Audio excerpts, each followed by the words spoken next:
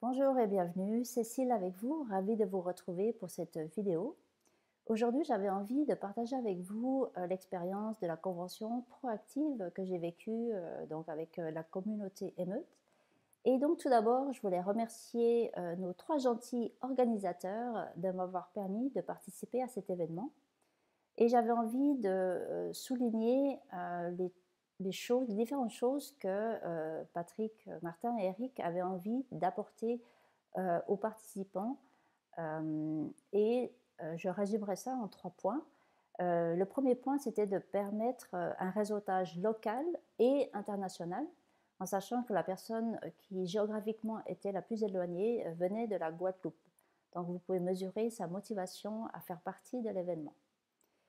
Le deuxième point, c'était de permettre aux participants d'être à la fois participants et intervenants, donc selon la passion, l'expertise, le centre d'intérêt, de pouvoir euh, animer un atelier euh, en sachant que ceux qui participaient à l'atelier pouvaient également intervenir et euh, partager leur savoir-faire, leur expertise par rapport à ce sujet commun.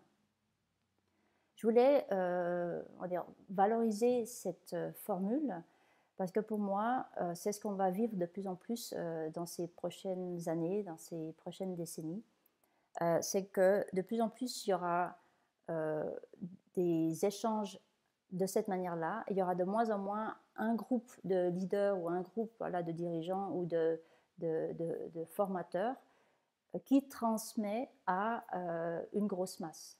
Pour moi, de plus en plus, ce sera beaucoup plus équitable, beaucoup plus équilibré et euh, à tour de rôle, selon la situation, selon le projet, selon l'envie, les gens pourront contribuer, pourront amener ce qu'ils savent faire, qu'ils sont, leurs valeurs ajoutées euh, et euh, ça donnera euh, un résultat pour moi beaucoup plus riche parce qu'il y aura beaucoup plus d'apports.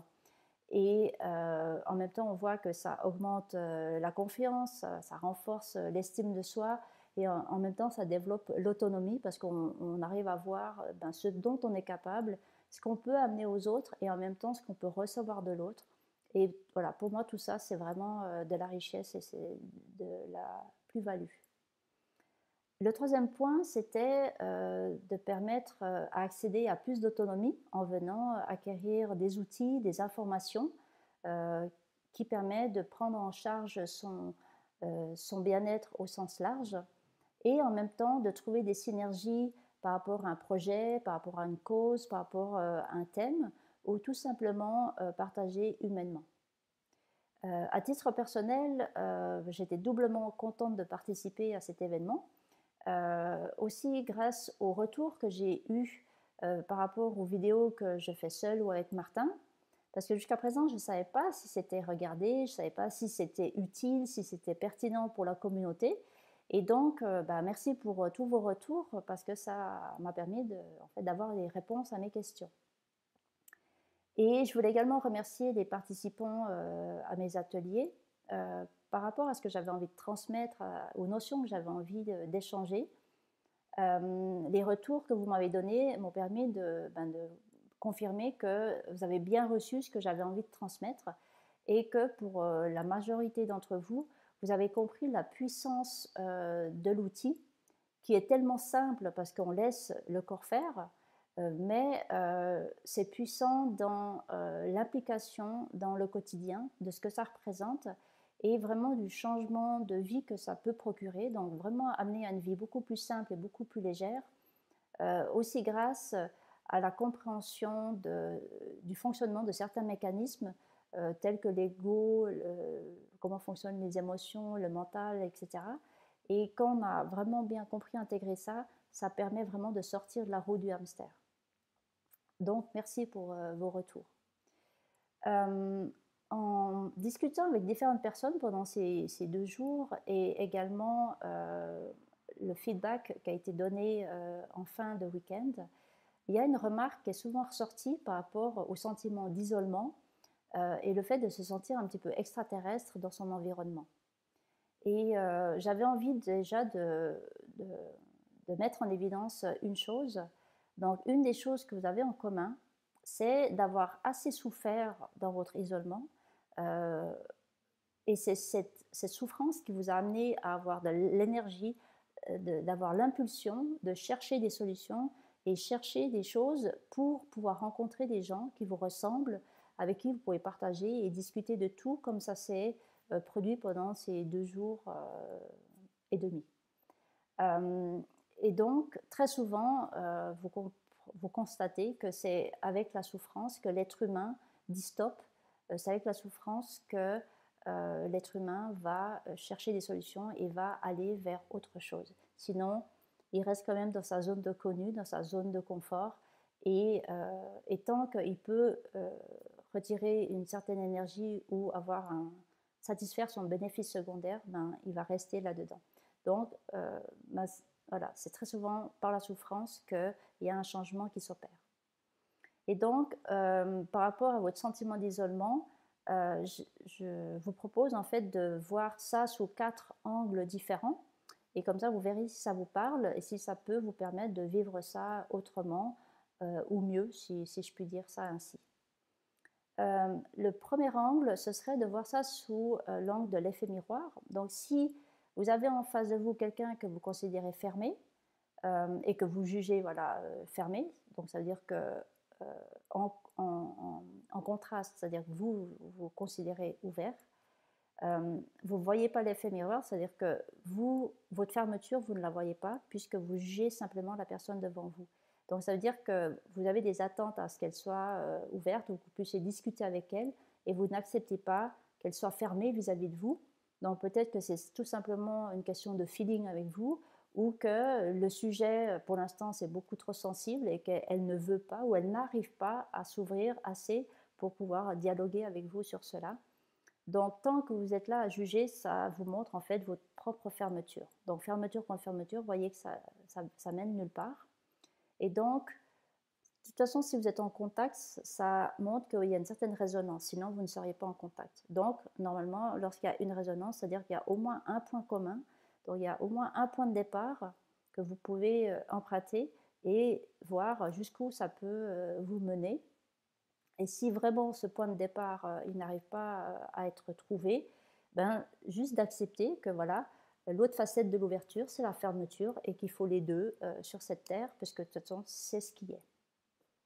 Et euh, plus vous êtes dans cette acceptation, qui n'est pas un acte mental, parce que l'ego n'est pas l'outil fait pour accepter, c'est le cœur.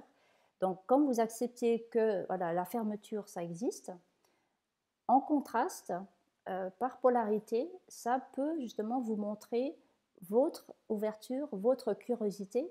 Et donc, réjouissez-vous que euh, cette personne, en fait, finalement, elle, vous révèle l'intensité de votre ouverture. Et donc, euh, appréciez cela et faites-vous un shot de bonheur, comme je le dis. Le troisième euh, angle de vue serait de voir ça euh, par rapport au vide. Donc, beaucoup de personnes ont exprimé cet isolement comme un vide ressenti. Donc, soit un vide autour d'elle ou un vide en elle. Et ce vide, donc, il peut être bien vu euh, bien vécu pardon, ou mal vécu. Il sera mal vécu tant qu'on reste dans le conditionnement que le vide, ben, c'est pas bien, le vide, il faut le remplir. Et c'est pour ça que très souvent, lorsque on ressent un mal-être, on ressent un vide à l'intérieur, on va euh, avoir des comportements compulsifs ou de dépendance pour tenter de euh, remplir ce vide, pour ne pas sentir en fait ce vide. Mais finalement, lorsque vous prenez le temps de rester avec ce vide et de, sentir, de ressentir ce que ce vide représente, finalement, vous comprenez, vous sentez que ce vide n'est pas vide, il est plein de ce que vous avez donné. Il est plein de l'énergie que vous avez transmise. Donc si vous avez euh, donné de l'ouverture, vous avez donné de la curiosité et du partage, en, étant en contact pleinement avec cet espace, c'est ce que vous allez avoir comme retour en énergie. Donc tout ce qu'on donne, on l'a en retour. Et donc vous pouvez vraiment le sentir uniquement si vous prenez le temps de vous laisser vivre ce vide, de vous laisser vivre cet espace. Et donc pour moi, c'est peut-être la meilleure manière de s'auto-alimenter en énergie plutôt que d'aller euh, la prendre ou la pomper chez quelqu'un d'autre.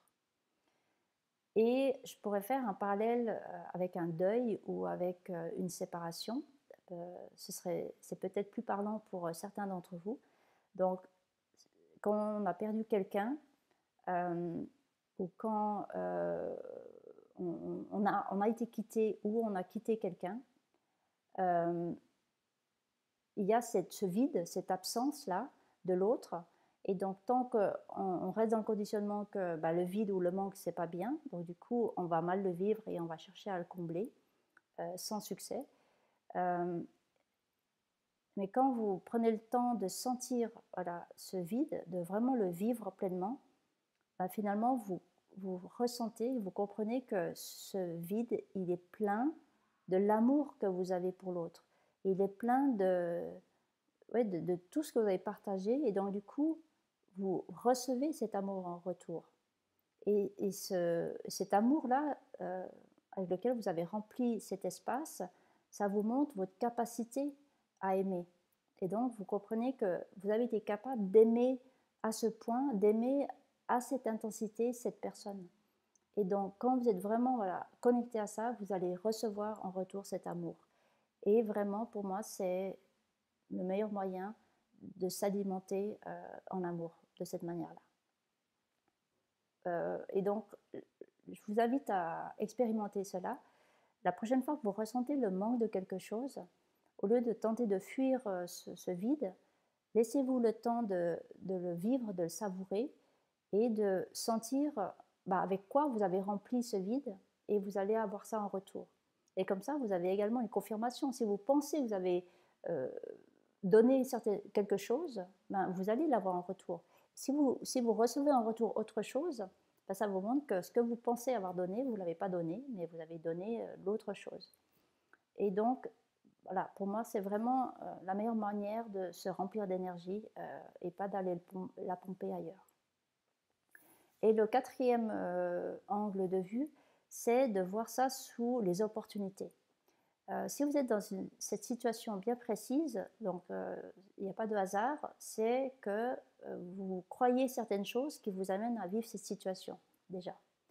Ensuite, si vous ressentez l'élan, vous ressentez vraiment voilà, quelque chose du cœur qui vous dit ah, bah, je peux être la personne qui va planter des graines et on verra. Et donc, vous plantez les graines sans attendre quoi que ce soit, et là, vous avez toujours de belles surprises. Par contre, si vous plantez des graines dans l'attente que les personnes elles vont faire des prises de conscience, elles vont vous remercier ou quoi que ce soit, là, tout ce que vous allez générer pour vous, c'est des situations de frustration et d'attente.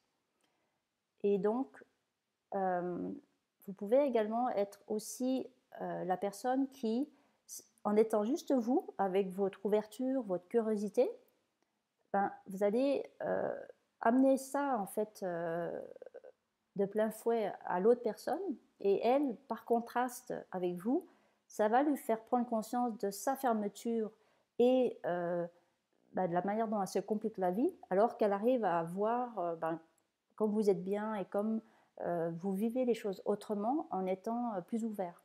Donc en ne faisant rien de spécial, juste en étant vous, ben, vous pouvez justement mettre en contraste, en, faire voir la polarité à une autre personne, et comme ça, c'est comme ça qu'elle peut faire sa prise de conscience.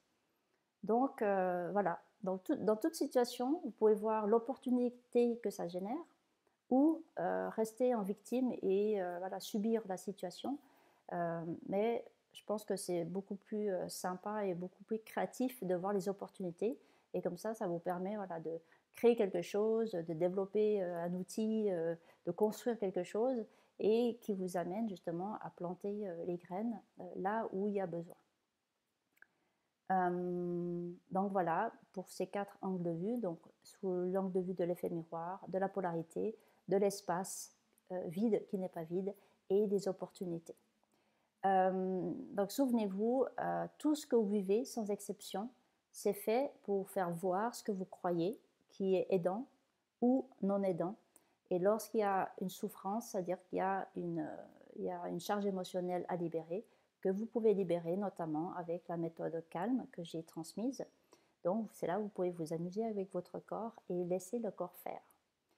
Euh, le libre arbitre que vous avez, c'est de vivre les choses en voulant bien voir, et c'est là où vous aurez plus de conscience, donc vous vivrez des choses avec beaucoup plus de douceur, ou sinon Si vous ne voulez pas ou vous n'arrivez pas à voir, ne vous inquiétez pas.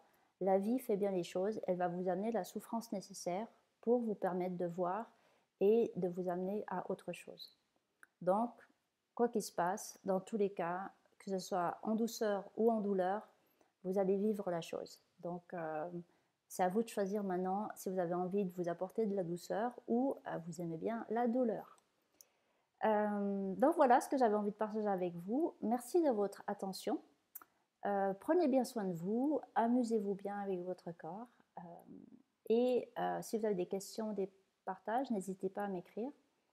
Alors voilà, d'ici la prochaine fois, je vous dis au revoir et à bientôt les petits loups.